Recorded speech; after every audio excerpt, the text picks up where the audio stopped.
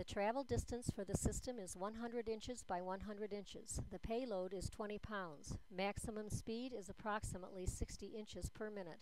The control is the Velmex model VXM1-1. The vertical axis is supported by a tall gusset. The horizontal axis uses a tandem bislide assembly.